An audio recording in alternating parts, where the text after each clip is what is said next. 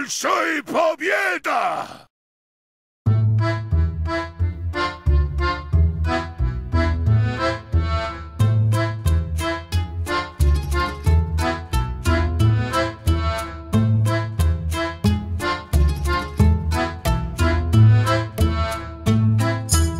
I've got nowhere to film this week, so I thought I'd come to the park and get some footage of, of some dogs for reasons that will become apparent soon.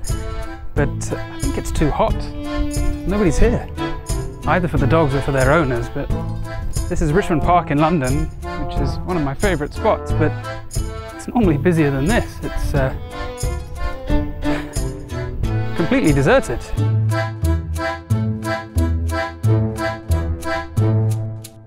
I did want to film this week because we've just celebrated the 50th anniversary of one of the 20th century's defining moments, the first man on the moon. But just 19 months earlier in Cape Town in South Africa, history was being made as well. And indeed, Christiaan Barnard, the man who transplanted the first human heart, was spoken of in the same breath as Neil Armstrong. Both events gave the public hope at the end of the 1960s and ushered in a brave new world and to this day remain crowning landmarks in our scientific story. Parallels don't end there. In both the space race and the race to transplant the first human heart, it appeared the Soviets might win as they had taken the early lead.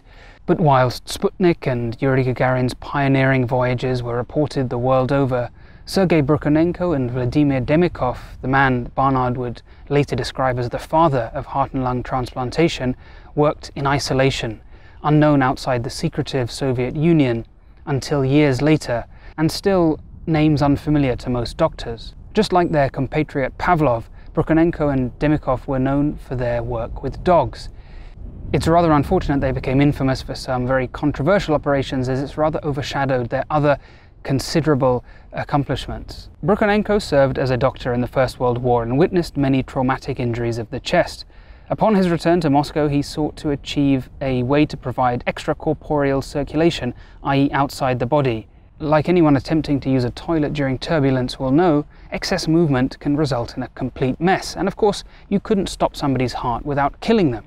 Thus, Brukhonenko developed the first working cardiopulmonary bypass machine in the 1920s, a large device used to replace the function of the heart and the lungs temporarily, allowing a surgeon to operate on them. Incidentally, his strategy to eliminate bubbles in the blood was to use alcohol, which I suppose is good manners. If you're going to break someone's heart, might as well get them drunk first. He also did experiments with hypothermia, showing that animals could survive cardiac arrest if sufficiently cooled, a subject I've talked about at length on this channel. This is footage from a 1940 film entitled Experiments in the Revival of Organisms. A dog was exsanguinated, i.e. bled to death, causing his heart to stop you can see the simple device is based around two pumps, one putting blood in and one taking blood out, connected in series with a bubble oxygenator. This is basically the same device that we use today, although obviously a lot safer. Once the dog was pronounced dead, oxygenated blood was then reintroduced using the bypass machine named the Autojector by Brukhonenko. And like a good Lazarus, the dog came back to life. While certainly produced by Brukhonenko, the veracity of the footage has not been proven. For example, I would have expected the heart to need defibrillation, so it could be a reconstruction, but we'll revisit the video a bit later on. The first human to undergo an operation using a bypass machine would have to wait until 1952 in Minnesota. Fast forward to the present day, and extracorporeal membrane oxygenation is one of our most powerful tools in medicine used to save the most critically unwell and bypass machines have been completely routine in cardiac surgical theatres for at least 40 years. 16 years Brukhonenko's junior Demikhov was born two years after Pavlov won the Nobel Prize for Medicine and a year before the Russian Revolution. His family were peasants. His father died during the Civil War when Vladimir was only three, but his mother ensured that he and his siblings received an education. In 1937, while studying biology at Voronezh University in central Russia, he built the world's first artificial heart, which he used to keep a dog alive whose own heart had been removed for about five hours, the first time anything like this had been done. This wasn't just a neat bit of plumbing, he successfully used primitive forms of anesthetic and anticoagulation, that was all that was available at the time, ventilated the dog successfully, and connected all the main vessels to his machine within a matter of minutes, all at the age of 21. As with the bypass machine, the first human to undergo the implantation of an artificial heart would have to wait several decades and be in America. And Demikhov also pioneered the coronary artery bypass graft operation, which would go on to be one of the most commonly performed operations in the world. He served with distinction in the Second World War and resumed his research afterwards, transplanting hearts and lungs of dogs and pigs. Demikhov's world firsts are literally breathtaking. When Brukhonenko and Demikhov's work became known outside the Soviet Union in the late 1950s, it would inspire the American teams who would go on to lay the foundations for human heart transplants. And Christiaan Barnard himself would visit Demikhov twice in Moscow before making history in South Africa. So far, so good. If they had just stopped there, their legacies would certainly have been less complicated. It's at this point in the video that I give you a warning that the rest of the video contains some quite disturbing footage. You've probably seen this statue in Russia, a touching tribute to the millions of laboratory mice who died in the name of science. I kind of feel like man's best friend also deserves a statue. Here's to all the doggos that died unpleasant deaths in the name of science. In 1857, legendary neurologist Charles-Édouard Brown-Séquard attempted to reanimate decapitated dogs by injecting whipped blood, i.e. a primitive way of introducing oxygen into the liquid, into their brains with a syringe Jean-Baptiste Vincent Laborde took things one step further and severed a freshly guillotined murderer's head onto an equally freshly decapitated dog's body. There were some involuntary movements, but thankfully he did not regain consciousness. In what must have been the strangest requisition order in the history of academia, Paul Loye had a guillotine built in his office and then spent years lopping the heads off dogs and watching what happened. I'm a medical researcher. I work in a team where a lot of animal research takes place. I know the importance of animal research, but this just seems perverse. Inspired by these 19th century attempts, Brukhonenko decided to connect his bypass machine up to severed dogs' heads in an attempt to reanimate them. Further footage depicts a dog's head connected to the machine, reacting loudly to sounds and lapping water. Demikhov's infamy began in the 1950s when he started creating two-headed dogs, generating the proverbial doggy in the window in the shop of Has Science Gone Too Far? Although normally described as head transplants, Demikhov was actually grafting the entire foresection of a puppy onto another dog, the head and the front limbs, a demi-dog, if you will. Within the USSR, he attracted widespread criticism.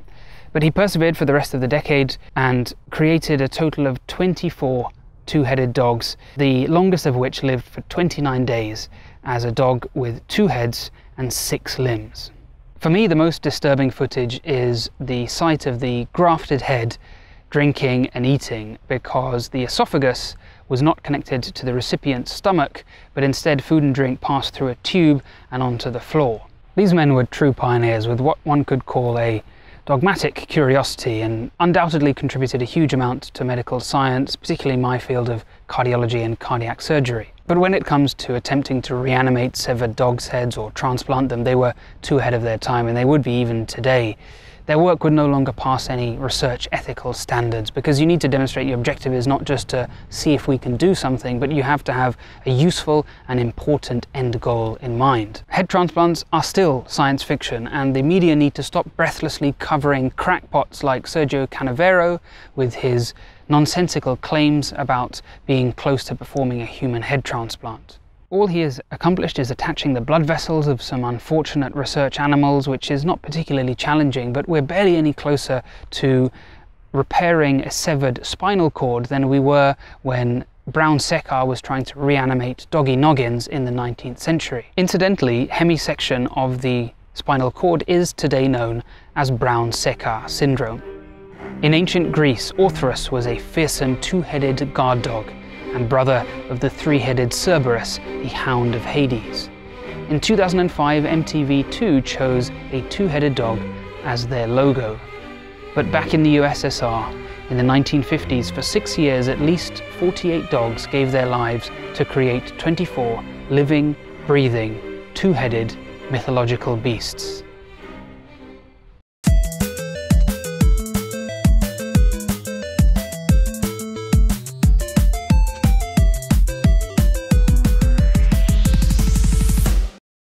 I was initially planning on doing the whole video like this, walking around the park in a breezy, Derek from Veritasium, casual kind of way.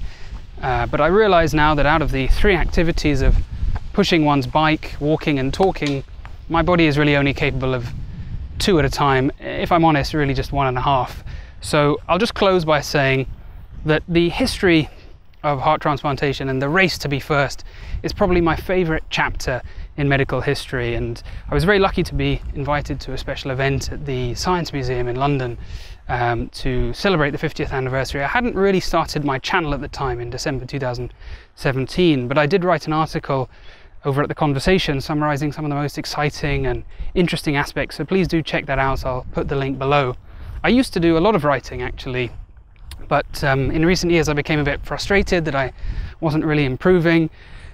However, starting this YouTube channel's rekindled my interest and opened a lot of new doors, including um, being very fortunate uh, to be asked to write a book, um, which made me feel a bit nervous because I've never had any formal training um, until I discovered the creative writing section on Skillshare.